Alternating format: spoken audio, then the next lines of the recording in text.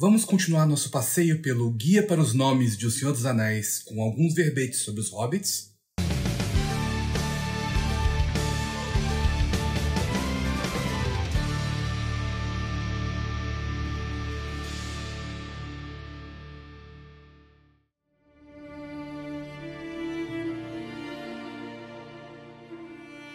Maiovana e Tolkien Talkers, sejam bem-vindos ao novo episódio do TT Languages.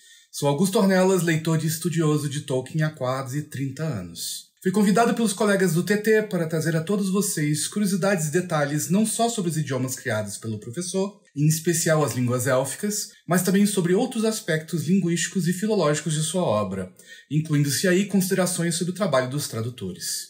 Antes de mais nada, como de costume, peço que deem um like, comentem aqui embaixo se inscrevam no canal, não se esqueça de clicar no sininho das notificações e compartilhem esse vídeo com seus colegas. Lembrando que, se quiserem fazer parte da membership do TT, é só clicar aqui embaixo no Seja Membro e ter acesso a conteúdo exclusivo além do que já é oferecido semanalmente. Não esqueçam também do botão Valeu Demais, explicado no vídeo indicado aqui em cima. Além disso, considerem utilizar nossos links afiliados aqui embaixo na descrição do vídeo para adquirir livros de Tolkien na Amazon ou no Submarino. Dando continuidade a essa nossa série de vídeos que iniciamos duas semanas atrás, voltamos ao Guia para os Nomes em O Senhor dos Anéis, ou a Nomenclatura, como esse texto ficou conhecido em edições posteriores, para nos debruçarmos sobre a tradução de uma série de nomes que tem a ver com os hobbits. Antes disso, recomendo fortemente que assistam a esse TT Raiz sobre o povo pequeno, em que o Sérgio vai fundo mesmo em sua história.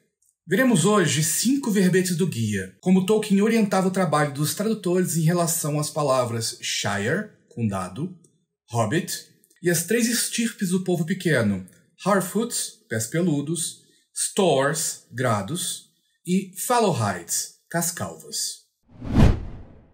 Vejamos o verbete sobre o condado, em que ele deixa bem claro que a palavra deveria ser traduzida para a língua-alvo. Shire, uma região organizada com uma capital de condado.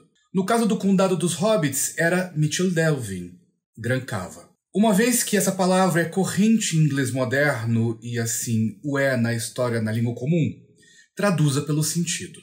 Aqui ele acrescenta um estudo etimológico da palavra Shire em inglês e propõe uma série de traduções para as línguas germânicas e nórdicas. Shire, anglo-saxão shir, parece ter substituído bem cedo a antiga palavra germânica para distrito, encontrada em sua forma mais antiga no gótico gaui, que sobrevive no holandês Gau, alemão Gau.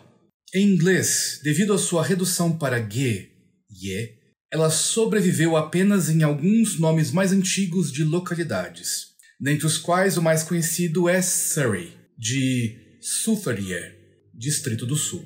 Essa palavra parece ser a mais próxima em termos de antiguidade e no sentido geral ao Shire da história. A versão holandesa utiliza Gau. Gau, a mim, parece adequado em alemão, a não ser que seu uso recente na reorganização regional sob o comando de Hitler tenha estragado essa palavra bem antiga. Aqui um parênteses importante. Tolkien, não só por ter lutado na Primeira Guerra e ter tido um filho que lutou na Segunda, e não só por ter vivido os ataques alemães à Inglaterra na guerra, desprezava Hitler e tudo o que ele representava.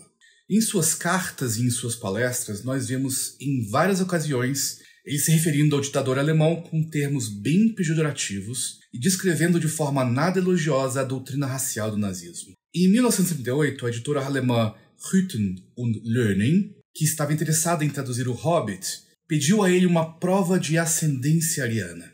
Ele respondeu a seu editor Stanley Unwin de maneira bem revoltada, chamando a doutrina nazista de lunática, anticientífica, perniciosa, e mencionou que tinha muitos amigos judeus.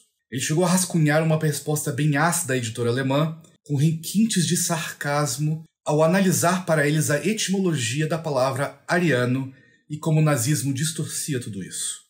Vocês acham que valeria um vídeo só sobre as posições de Tolkien a respeito do nazismo, e com isso acaba tendo reflexos bem interessantes em seus livros, reflexos filológicos inclusive? Respondam aí nos comentários. De volta ao verbete. Em línguas escandinavas, em que uma palavra relacionada não existe, Alguma outra palavra, preferencialmente antiga, para distrito, província, etc., deverá ser usada. A versão sueca utiliza fylke, aparentemente tomando emprestado do nórdico antigo, especialmente o norueguês fylke, distrito, província. De fato, o nórdico antigo e o islandês moderno, sysla, sueco sisla, dinamarquês syssel, atualmente obsoleto no sentido de amt, mas ainda ocorrendo em topônimos, estava em minha mente quando eu disse que o nome real não traduzido para o condado era Susa, apêndice F. Daí foi também dito no prólogo que recebeu tal nome por ser um distrito de afazeres bem organizados. Em Portugal, a editora Europa América e também depois a editora Planeta decidiram ignorar a recomendação bem explícita de Tolkien e não traduziram o termo. Lá até hoje se diz Shire, mesmo que em português de Portugal existam várias palavras bem adequadas para tanto, como província, sugerido por nossa colega Inês aqui no TT. Por lá insistem que os leitores lusitanos estão já acostumados com a palavra da primeira tradução e não gostariam de vê-la trocada. No Brasil, optou-se desde a edição da Martins Fontes por condado, o que permite também manter algumas palavras derivadas de shire, como sheriff, traduzidas habilmente a partir da mesma raiz, condestável. Vejamos o que Tolkien fala sobre a palavra hobbit em si. Nesse verbete, ele é bem categórico em sua orientação. Hobbit, não traduza, uma vez que supõe-se que o nome não mais possui um sentido reconhecível no condado. E supõe-se que não tenha derivado da língua comum, equivalente ao inglês ou à língua alfo da tradução. Ele deixa bem claro: não traduzam. Ele deixa isso nesses termos porque ficou bem chateado em 1956 com a primeira tradução sueca, que em vez de deixar Hobbit, colocou Rompe. Trocou o nome de Bilbo por Bimbo. Traduziu elfo por Eleva, que dá uma conotação de fadas, fadinhas. E Goblin por Svartalf, elfo negro ou doente. Vejamos, por último, como o professor gostaria que se traduzissem os nomes das três etnias dos hobbits. Harfoot, plural, concebido para ser inteligível em seu contexto e reconhecido como uma forma alterada para um nome antigo, Harefoot, isto é, aqueles com pés peludos. Tecnicamente concebido para representar o arcaico Harfoot, Harefoot, Harefoot, com uma mudança usual er para ar em inglês. Hair em inglês moderno, embora relacionado, não é um descendente direto do anglo-saxão Haar, Hair, em alemão Haar. Avus, em alemão, representaria de maneira adequada a forma, o sentido e a mudança ligeira na grafia em um nome próprio antigo. Veja Fellowhide.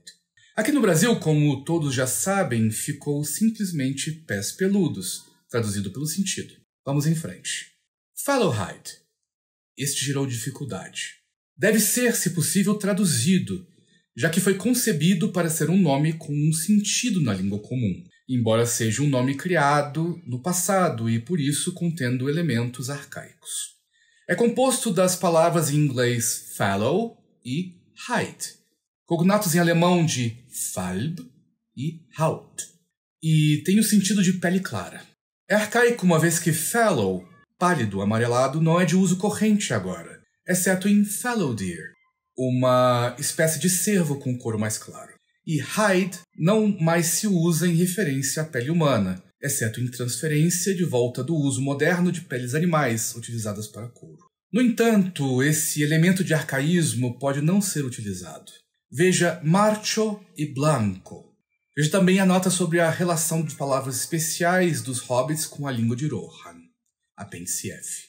Dentre nós no Brasil, Fellowhide ficou cascalva, mantendo assim referências à pele e à compleição alva dessa estirpe hobbit. A referência a Marcho e Blanco, os dois irmãos Cascalva que cruzaram o rio Brandevin e fundaram o condado no ano 1601 da Terceira Era, é explicada no Reader's Companion de Wayne Hammond e Christina Skull, como um eco deliberado de Tolkien da história de Hengest e Horsa, líderes germânicos que vieram ao território inglês no começo do século V e deram início à civilização anglo-saxã que suplantou os bretões nativos. Por último, temos Stores, nome de um terceiro tipo de hobbit, de porte mais robusto. É a palavra inglesa mais antiga store, store, grande, forte, agora obsoleta. Já que assim foi concebida para ser uma palavra hobbit especial não corrente na língua comum, não precisa ser traduzida e pode ser representada como grafia mais ou menos fonética, de acordo com o uso das letras na língua alvo da tradução. Mas uma palavra arcaica ou dialetal com esse sentido na língua de tradução também seria aceitável. E foi essa segunda rota adotada pelo Conselho de Tradução no Brasil. Em vez de aportuguesar a grafia, algo como os stores, preferiu-se manter o sentido subjacente da palavra utilizando o adjetivo obsoleto em português grado, que tem um sentido de grande, graúdo, encontrado na literatura portuguesa em expressões como escrever em letras gradas, garrafais, ou batatas gradas ou graúdas. E com isso ficamos por aqui. Postem suas dúvidas e perguntas nos comentários aqui embaixo. Não se esqueçam de deixar um joinha no vídeo, compartilhá-lo e se inscreverem no canal. Se certifiquem de nos seguirem em todas as nossas redes sociais, Instagram, Twitter e Facebook, para saber antes de todos as novidades do Tolkien Talk. E mais uma vez considerem se juntar à nossa membership e deixar um valeu demais neste vídeo para nos dar aquela força. Nos vemos na semana seguinte. Na Maria